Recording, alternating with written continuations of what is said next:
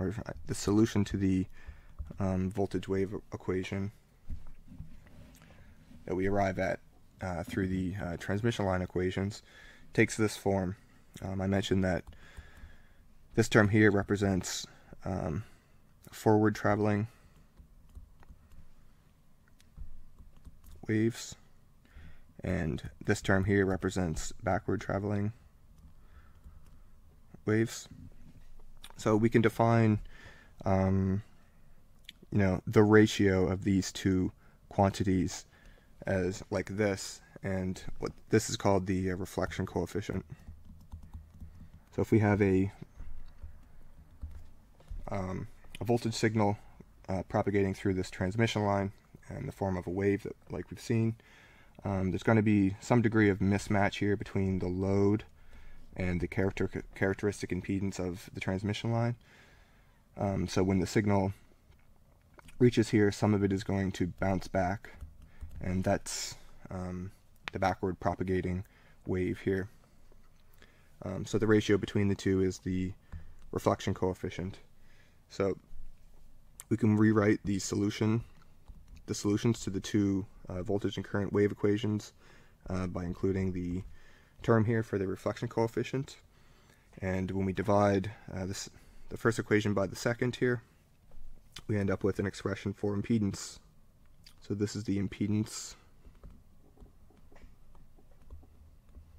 So this isn't the characteristic impedance. This is the actual, um, the input impedance as a function of uh, position. Right, we have the dependencies here on our uh, spatial uh, position. Um, so, like I said, it's a it's a function of position. So, if we look at the impedance seen looking in right at the load where z equals zero, um, we can see that the terms the exponential terms here all go to 1 and we end up with this expression. We can manipulate this a little bit more, uh, multiply both sides by the denominator there, uh, distribute this guy through and do and distribute this guy through, rearrange a little bit, and we end up with this common equation for the reflection coefficient. So, like I said, the reflection coefficient is kind of it's a measure between it's it's a measure of the um, mismatch between the load impedance and the characteristic impedance of the transmission line. So that's what this negative sign represents. So if there is um, no mismatch, so the load equals the the load impedance equals the characteristic impedance, then of course the reflection coefficient is going to equal zero. So this means that there's no reflection. That means that all of the energy goes into the load, and the load here in this example might be, um, you know, a model of a uh, of an antenna, for example. Um, so if all of the energy is going into the to the antenna, obviously that means that the energy is being radiated, which is what we want. There's two kind of special cases.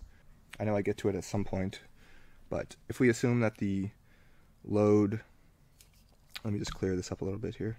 If load impedance equals the characteristic impedance, then no reflection.